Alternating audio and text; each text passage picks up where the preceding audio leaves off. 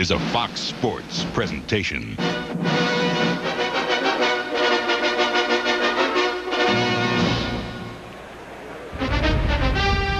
Week 17 in the NFL, and soon a dozen teams will play Lombardi's Winter Wonderland. But for now, it's time to feel the holiday spirit, and it's time for the NFL on Fox.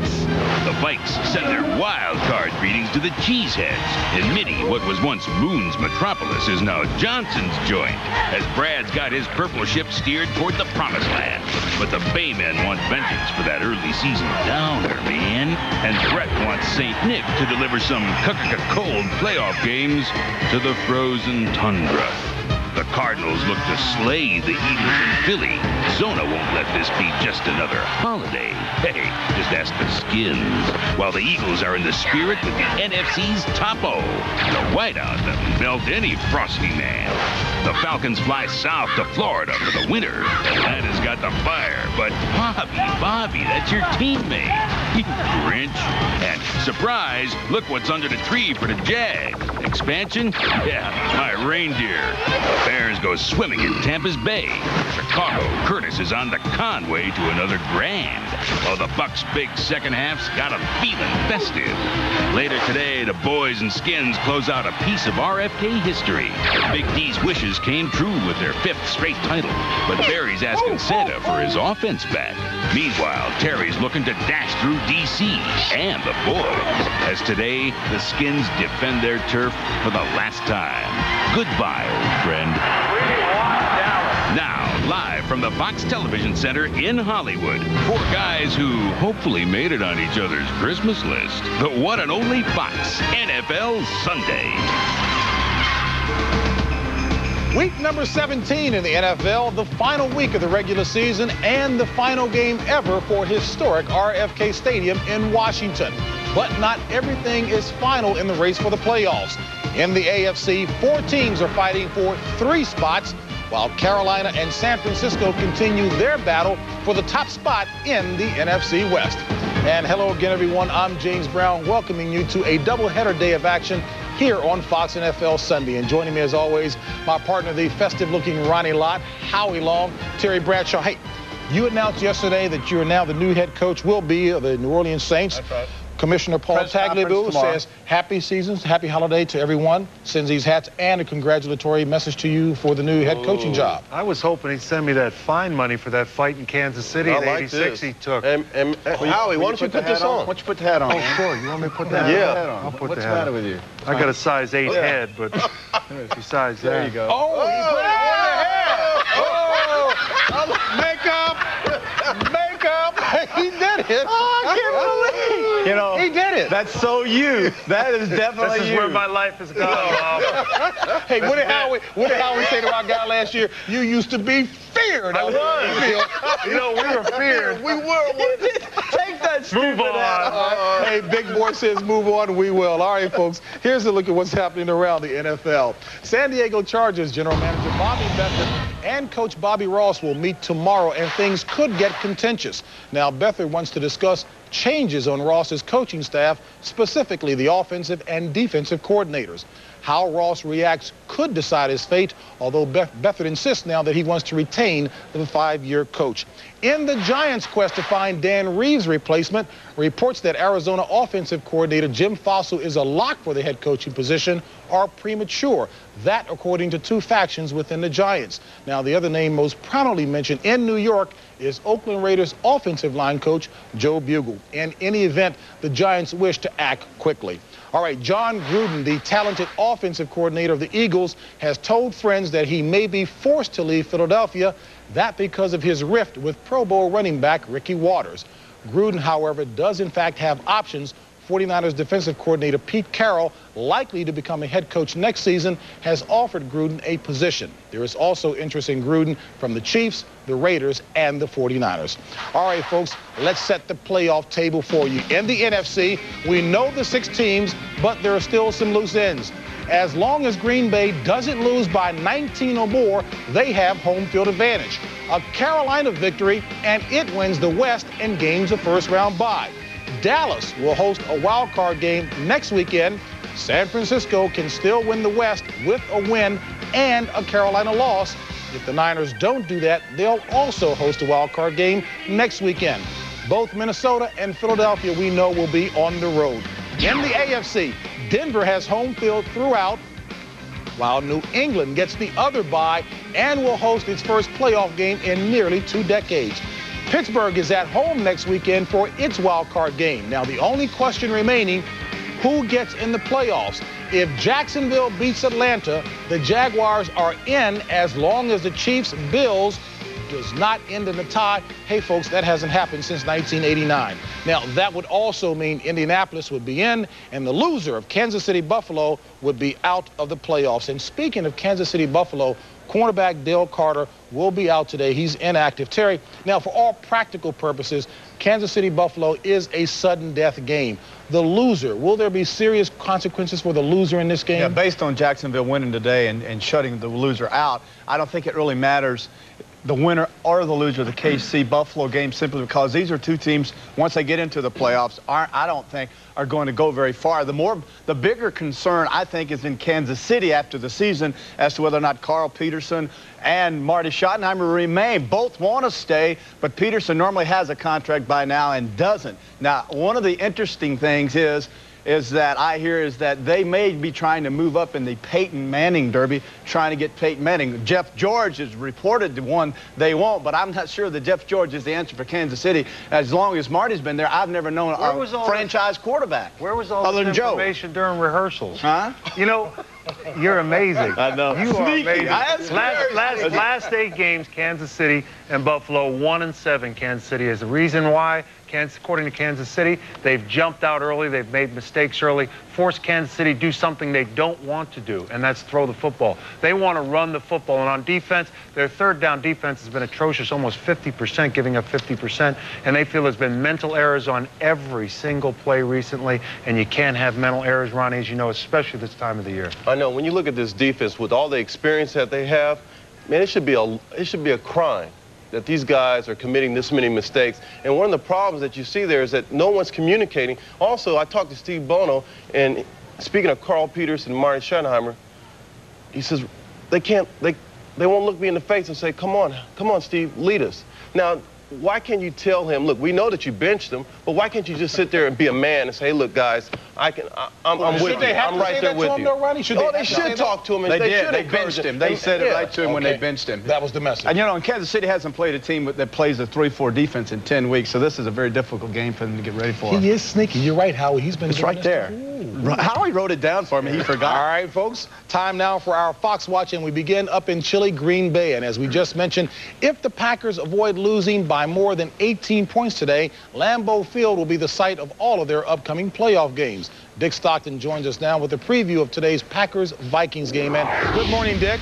Good morning and season's greetings to you all from chilly Lambeau Field, where it'll be in the 20s, and we have snow flurries right now. And of course, as you know, both the Packers and the Vikings are in the playoffs. The Packers trying to nail down the home field advantage and extend their winning streak here at Lambeau Field to 16 consecutive games. Also, the Packers are out to avenge an early season setback in Week Four when the Vikings beat them 30 to 21. The Vikings did a lot of talking, and they did this week when ex-Packer linebacker Jeff Brady had these feelings, saying, "I'm coming to Lambeau Field." Ready to headhunt.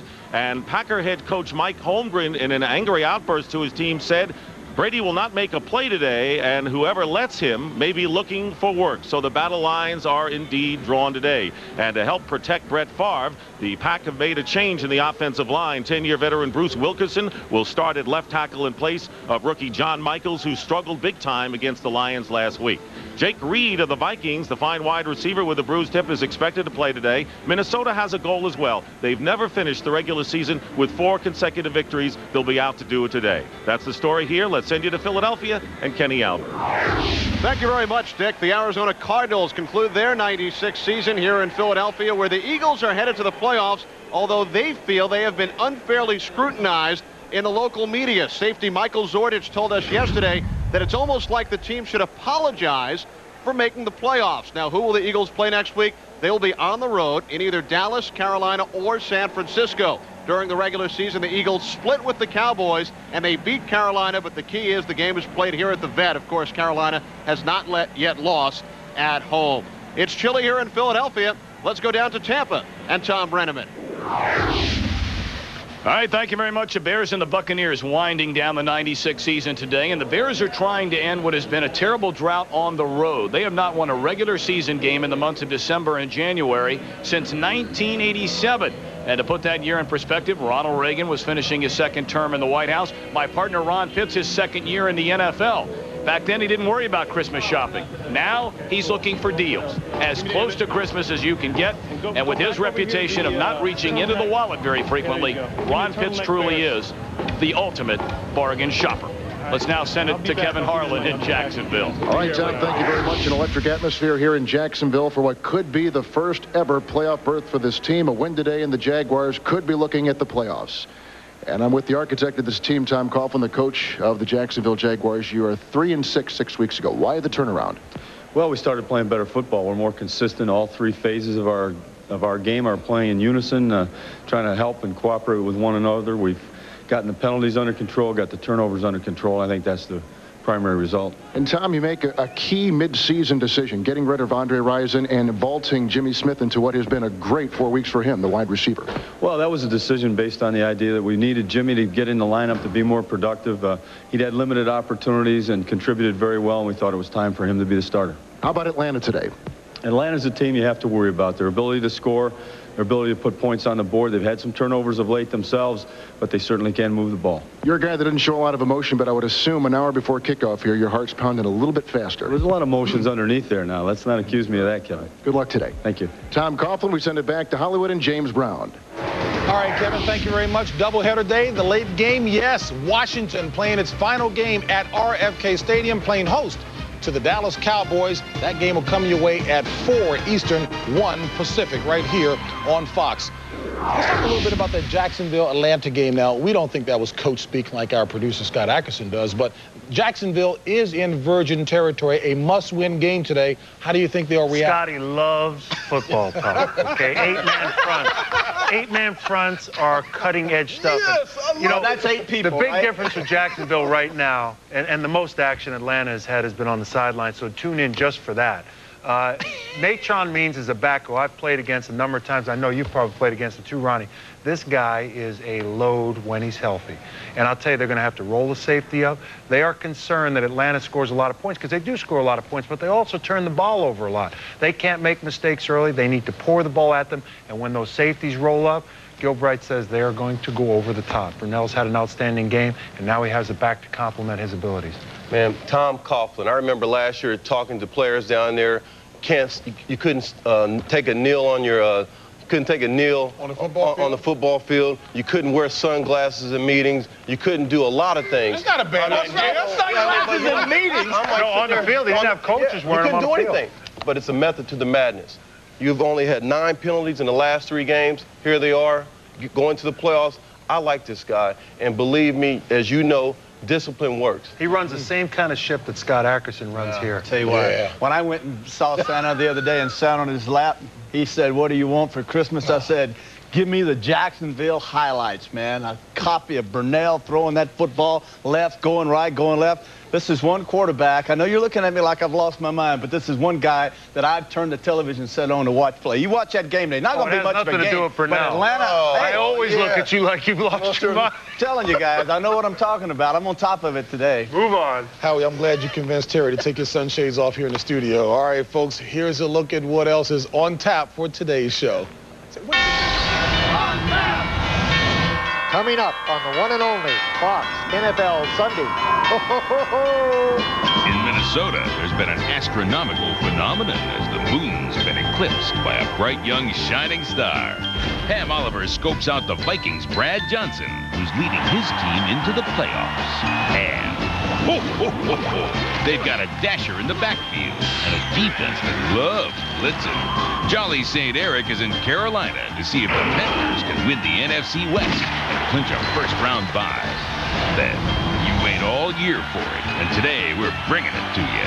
And it's much better than a Tickle Me Elmo dog. It's the Terry Awards 96. So sit back and get ready for the year's best, brightest, and most awesome performances. Coming up, coming at you, the one and only Fox NFL Sunday. Sunday is brought to you by Porsche, who wish to remind you there is no substitute. By Philips Magnavox, bringing the power of the internet to your own television.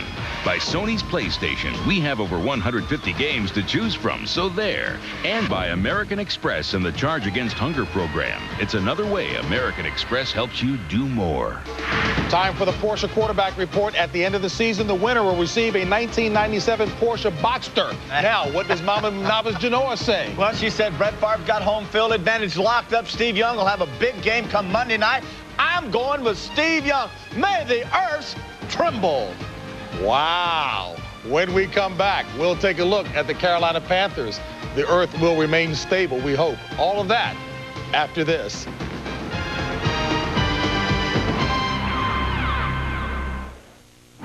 Tonight, It's here.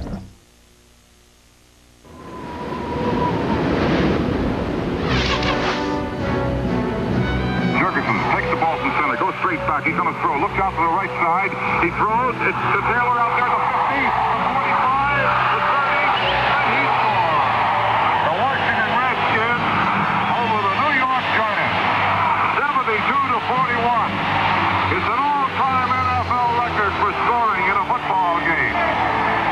Charlie Taylor, one of the stars in that game, and we'll have plenty more memories about RFK Stadium throughout the show. All right, folks, after 35 years, historic RFK will no longer be the home for the Redskins, and we'll be bringing you many more, as I mentioned, throughout the show. But today in Carolina, the Panthers look to wrap up the NFC West crown as they take on the Steelers. And for a preview of that battle, Fox's Eric Clemens joins us now live from Carolina. And Eric, the Panthers certainly know the advantages of playing for the hometown crowd. JB, happy holidays, and the Panthers certainly do know. A victory this afternoon against the Steelers would make them a perfect 8-0 at Ericsson Stadium this year, give them the NFC West crown and a first-round playoff bye. Meanwhile, New England's come from behind victory over the Giants yesterday, pretty much ruined the Steelers' chances of having a first-round bye, so the Steelers are playing for a little more than momentum this afternoon. All eyes on the Carolina Panthers. The Carolina Panthers have had a very special season, and the special moments began back in a preseason game against the Buffalo Bills, in which second-year quarterback Kerry Collins actually cursed out some of his veteran teammates for poor play. When he talks, we listen. I'm gonna be honest with you. And the kid's a second-year guy, but he looks like uh, he's been in the league a long time. He's making the right reads. We know they're gonna come with a lot of fire zones, a lot of blitzes, and, and trying to disrupt the timing of, of Kerry. But uh, when they do that, they leave uh, holes open for us. So we have to make sure as a receiving corps that we get in those positions that we need to be so when the time comes, we can complete the ball and, and keep the ball moving. There's a lot of similarities both sides of the football, offense and defense. There's a lot of similarities what we do, and especially you can find that uh, similarity on defense. You know, the three-four and the blitz zones and, and stuff like that. So it's it's going to be interesting. There's some obvious similarities with these teams because of the obvious coaching linkages there, and it should be interesting, as Kevin Greene pointed out. Pittsburgh Steelers, though, playing for very little. They're going to rest a lot of the veterans today, and you'll see Kordell Stewart play at quarterback. The story from here at Ericsson Stadium, let's send it back to our Fox Television Center in ho, ho, ho, Hollywood, and James Brown. JB? I love that, E-Man. Thanks, Eric. You know, Eric talked about uh, coaching linkages, and of course, with New England's victory yesterday, the Steelers cannot get a first-round bye. So this becomes a personal battle. Dom Capers against Bill Cowher. Kevin Greene, who is very media-friendly and will talk about anything, didn't say a thing about Cowher or the Steelers. I think he's upset. Yeah, I think he's upset, and I think that uh, I've taken a couple games personal myself because. No. Oh, Ronnie, please. I don't believe No, I have, and I tell you why. Is because one of the things that happens when you're in a big game like this, especially playing against the guys that you've played against, going to the Super Bowl like Kevin Greene did last year, you want to get respect. And one of the reasons that you want to get respect is you want to walk off that field knowing that you're a champion. But if you look at this team, Kerry Collins right now has really stepped up and really leading this team offensively. What I like, though, is that he's throwing the ball down the field. Early in the year, it was controlled passing, getting to Wesley Walls, trying to get to the receivers on short stops. Now he's getting the ball down the field and he's done a great job. Kerry Collins is the key to the victory. They're the both upset victories the 49ers. Kerry Collins throwing the football. They will have to throw the ball today to beat Pittsburgh. Only giving up two sacks in the last two games, Howie. And Joe Pendry, the offensive coordinator, states the fact that Kerry Collins, although only in his second year, and who will see probably 60 blitzes today, sees them, recognizes them, and Pittsburgh will throw nothing at them they don't see in practice. Yeah, you know, these two teams aren't fooling one another. They're looking at a mirror image of one another. They want to pound the ball on offense, multiple scheme defense, blitz is coming from everywhere. But the big key, as you, as you both pointed out, has been Kerry Collins. According to Carolina, Kerry Collins has now totally has a full grasp of that offense. And now they, yes, they are starting to expand the offense. What? And Rod Woodson, they feel Rod Woodson is not fully back. They're going to go after Rod Woodson today. Expanding the offense from? From the five plays. Five plays to seven. All right, folks, let's check out what else is going on around the NFL. Check it out! For the Chiefs and Bills, the weather in Buffalo might be frightful. But a win would be delightful because the winner is in and the loser is out in the cold. Brr. KC looks for a playoff present for the seventh straight year, and Mr. Marty has won his last 10 regular season finales. But Buffalo's not far from the North Pole, so Jim Kelly and his elves hope Santa Claus comes to their town with a win. The Oilers and Ravens will have a blue, blue Christmas. At home this year, Houston came close as Eddie was steady and the defense was heady for Baltimore. Then he raved on as he was a very good boy this year. An Indy win at Cincy means a playoff spot arrives in the nick of time. Forget the reindeer. Jimmy H is charting another comeback course while Marshall delivers the gifts. But the Grinches from Cincy can steal the Coach Holiday playoff hope with that mean one, Mr. Carl, who would rather receive.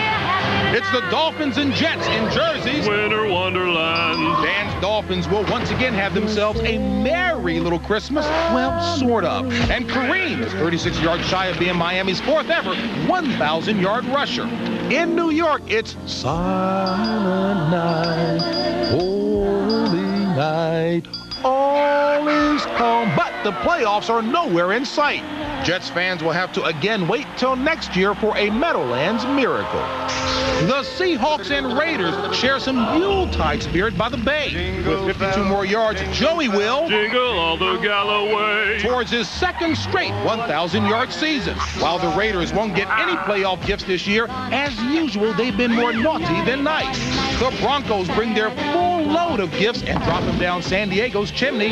Denver will be home for the holidays and the entire postseason. Mr. Elway's O has been busier than Santa this season and a run defense that could stop even St. Nick. But the Chargers have a hard-working elf named Tony who really wanted to be a dentist. I Want to be a dentist. And I guess Santa's still a little upset. No playoffs for the Bolts this year. The Lions have claws, so Santa's been nicer to the Niners. Detroit's Barry dashes through snow, and with 122 yards, this reindeer rusher can become the first ever with three straight 1,500-yard seasons. San Francisco can bring the with a win and the Carolina loss and buy themselves an NFC West crown. Bless us, everyone. Can't believe you guys are on my case. Is that you singing Silent Night? Silent Night, That's yeah. the worst. James. Ha! That's, stick to that. That's JB, why- stick to that. I That's thought what- Howie was singing it. That's why Joe Yasharoff and Nelson uh, Jones, my Washington producers, sang the other parts. It, was, it, it wasn't that bad. Hey, folks, don't go anywhere. We don't want you to miss what's coming your way. I can't sing. The annual Terry Awards are back, and this year, they're better than ever. Also, a look at the man the Vikings are trusting to get the job done, quarterback Brad Johnson. It's been a long wait, and I've, I've, I've worked so hard and been very patient for an opportunity like this. And it's been kind of crazy with Warren being hurt like he has been. Put me on a on a field healthy against anybody in this league, I say, and I'll compete. And I bet you I'll come out on top.